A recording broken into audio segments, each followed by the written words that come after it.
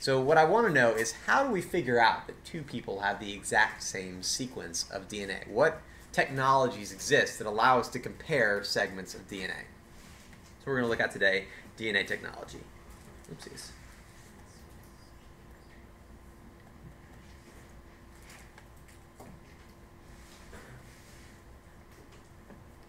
All right. So the first thing, um, I want you to kind of step into uh, your imagination zone, and I want you to imagine that you are uh, a crime scene investigator and you're working in a forensics lab, and there's been a crime where some woman was murdered, and um, underneath her fingernails they find a little bit of skin that she like was able to scrape off her attacker or something like that. If you've ever watched CSI, it's a very common theme that they go with that they find skin cells underneath their fingernails. All right, uh, so let's say there's 10 skin cells, and those 10 skin cells, uh, they contain DNA, of course, right? But the question is, how much DNA is in there? Can you see it with your eyes? Is it enough to test? No, you can't do anything with it at that point. It's 10 cells worth of DNA. That's like basically nothing, right? So the very first thing that you have to have in order to do anything with DNA is you have to have a DNA copy machine, right? It's just like a copy machine that you would have for making paper, uh, but instead it makes copies of DNA. And so um, that's what we're going to look at first is a, a, process that's called the polymerase chain reaction that's going to allow us to make lots of copies of a sequence of DNA. It makes a bunch of copies of those 10 DNA. Like... Yep. Polymerase chain reaction is, uh, and it's normally abbreviated PCR, is a method for creating millions of copies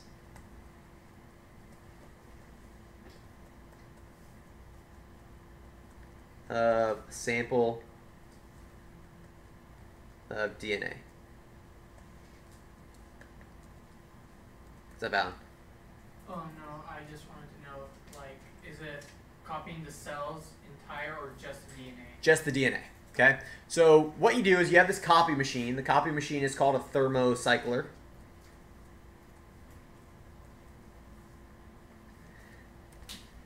And that is the machine that regulates temperature.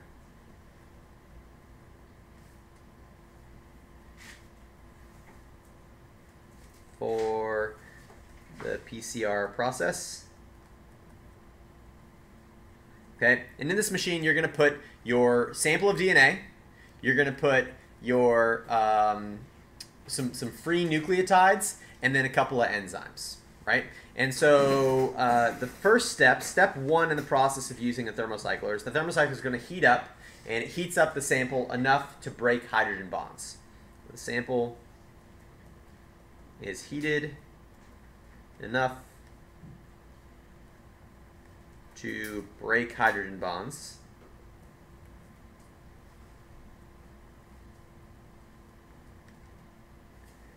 Um, so then, if it's heated up enough to break hydrogen bonds, what um, happens to the DNA? What's the actual like result of that?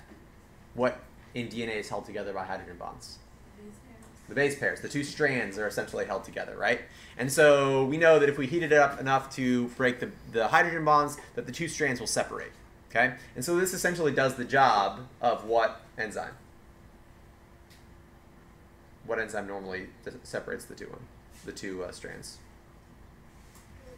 Helicase, yeah. So this does the job of helicase. Now it actually does it better than helicase does because helicase is going to make all those replication bubbles. This is just going to separate the two strands completely. And the good news about that is that there's no leading strand and lagging strand then. They're both just going to make the whole thing, right? And so you don't have to worry about having DNA ligase or DNA topoisomerase or anything like that. They're just going to separate everything from one another, okay? So uh, step two, you got to cool it down. So the sample is cooled enough for base pairing to occur.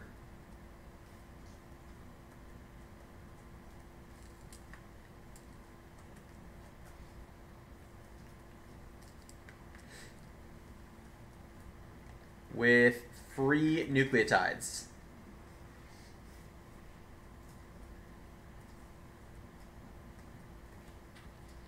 Okay, so those free nucleotides that were floating around in there, they start the complementary base pair, and now you've got uh, essentially a copy of DNA, except for the fact that um, there's a problem, and that's that there's nothing in there that can create the sugar phosphate backbone.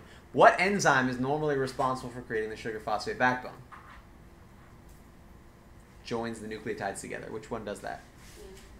Polymerase does that. Okay, DNA polymerase um, has a problem though, and that is if we heat the sample up enough to break hydrogen bonds, that enzyme gets totally messed up. It gets totally denatured. And so there's no way that you can put that enzyme in there.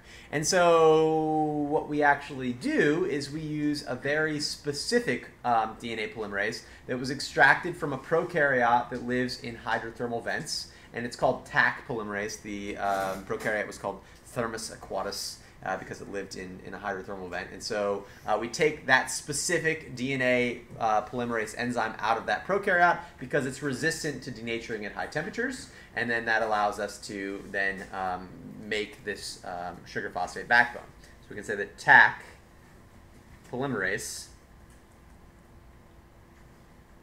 is used to join nucleotides together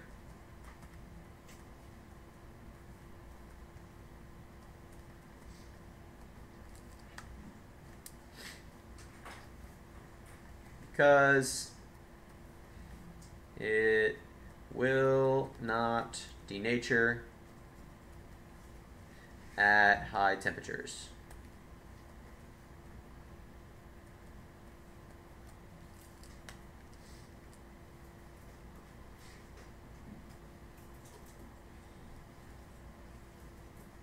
Okay, so um, let's say this process takes an hour okay, to go through step one through three here. Uh, and so let's say we start with just one segment of DNA. We throw that into the thermocycler. And so after an hour, there's two. Then after two hours, there's four. Four hours, eight. Or uh, three hours, there's eight. Then 16, then 32, then 64, then 128, then 256, then 512, then 1028, right? You get the idea. And so uh, you can keep multiplying that by two, and you repeat this for say 24 hours, and you've got millions and millions of copies now of this DNA. You started out with 10 copies because there were 10 skin cells, and now just using one or two of those skin cells, the samples from there, you now have millions of copies that you can go through and do lots of tests on, right? So, question now becomes, what tests are we going to do? Uh, and the tests are pretty much all the same. And the first thing we need to do is um, be able to tell two sequences of DNA apart based on their orders. So we're going to use these things that are called restriction enzymes.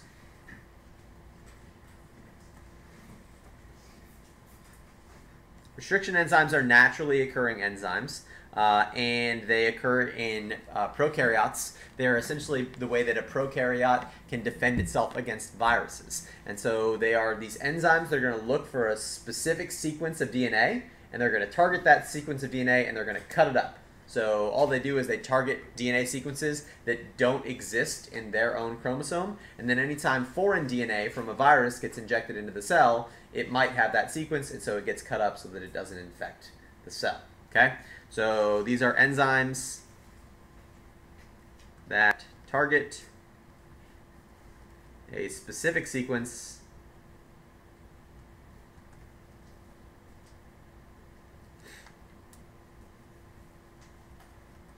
DNA and cut the DNA at that sequence.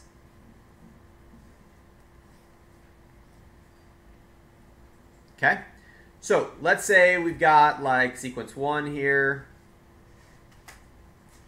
Sequence one is G A T A C A G G C-A-T or something like that. Okay, and then sequence two is like G A T T G G A C G G T or something like that. Okay? So two pretty different sequences of DNA here. There's been some mutations. There's been some point mutations and stuff like that. Okay. Um, but the key here, let's say that this specific um, restriction enzyme cuts at the GG combination. Anytime there's a GG, it's going to cut it up. All right. So that means that the top sequence gets cut right here, and the bottom sequence gets cut right here, and it gets cut right here. Okay. The top sequence is going to turn into two segments, one that has one, two, three, four, five, six, seven nucleotides in it, and the other one that has four. And the bottom one's going to get cut into um, three segments, one that has five, one that has four, and one that has two. Okay, so because these are different sequences, they get cut into different amounts of segments, right? And then now we just have to analyze those segments. So the way that we analyze those segments is using a process that's called DNA gel electrophoresis. And I know that sounds confusing, but it's really not all that confusing uh, when you look at it. So this process is going to use electrical current in order to separate DNA by um, the size of the segment. So it uses electrical current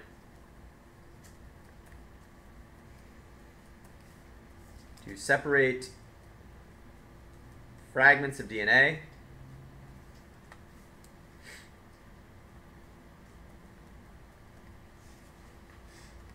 by the size of the fragment.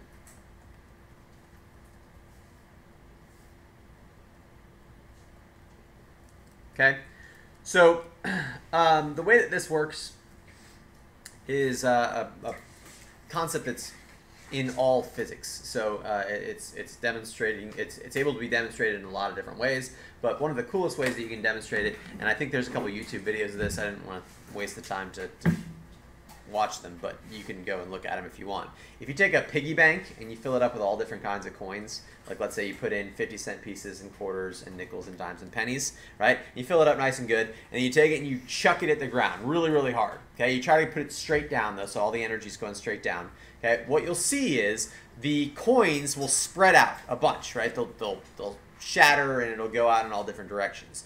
But if you took the probabilities, like you made like a bullseye from the point where uh, the piggy bank got smashed, what you would see is furthest out, you would have a very high concentration of dimes. The next band in, you'd have a very high concentration of pennies. The next band in, you'd have a very high concentration of nickels, then quarters, then um, uh, 50 cent pieces, right? And the reason for that is that they are um, much lighter, that dimes are the lightest of all of them. And if you impart, impart the same amount of energy by smashing the whole thing on the ground, then that energy goes the furthest with a dime because it doesn't have as much mass to it and it goes the least amount of distance with a 50 cent piece because it has the most mass to it right and so they separate themselves nice and, and evenly by their mass the same thing's going to happen in dna gel electrophoresis you're going to apply the same amount of energy to all the fragments but the small fragments are going to move further than, those, than the large fragments so you take this stuff called agarose gel. This is a polymerized um, um, agarose gel here, and I'll, I'll actually run a gel for you tomorrow and pass this around so you can see. But um, you can see there's these little well plates, uh, or wells uh, rather, at the end. And this is where you're going to insert your samples of DNA. Okay, so let's say that this is like the crime scene here. That's the stuff that you got from the crime scene. This is suspect number one, suspect number two, and suspect number three. Okay? So you load the DNA samples in there from your three suspects. Okay? And now you have to apply some force to it. And the force that you apply, like I said here, is you're using electrical current. So on one side you put um, the negative electrode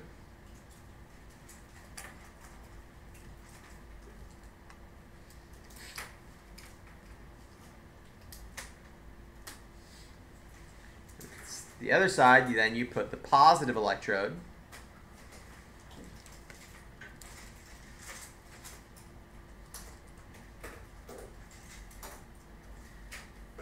And then you just turn it on, okay? And because DNA has a negative charge, it's going to be attracted to the positive electrode and it's going to be repelled from the negative electrode, right? And so um, the samples will begin to move across this gel, and they'll move across this gel based on how big they are. So the smallest fragments will end up up here.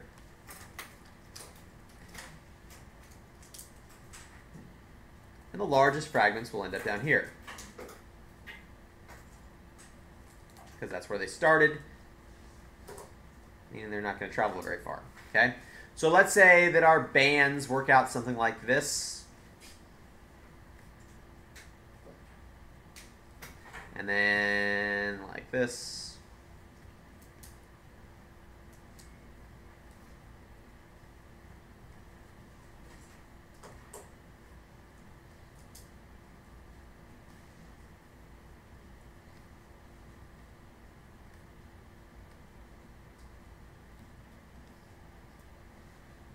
So now we've got uh, we've got four different um, banding patterns on there, or four four banding pa- patterns on there. And what we want to do is we want to compare them and say, okay, who done it? Who's our who's our guy? And so we go through and we say, okay, this matches this one and this one and this one, so all of those match. Then this matches this one and this one, right? This one matches this one, this one, this one. This one matches this one, this one, this one, this one. This one matches all of them. And all these match. So who's our guy? Number three. Is the only one that has all of their stuff that matches, right? And therefore, we can say number three and the crime scene had the exact same sequence of DNA because it got cut at the exact same points. Okay? Is that enough to convict somebody? Just this one test here?